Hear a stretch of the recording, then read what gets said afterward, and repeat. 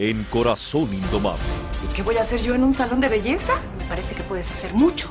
¿Por qué no nos casamos en secreto? ¿Qué hiciste? Tomó pastillas, Dios mío, se suicidó. Me salvé de esta. Pero ten por seguro que de la próxima no me voy a salvar. No te atrevas, Doris. Este martes al terminar Laura,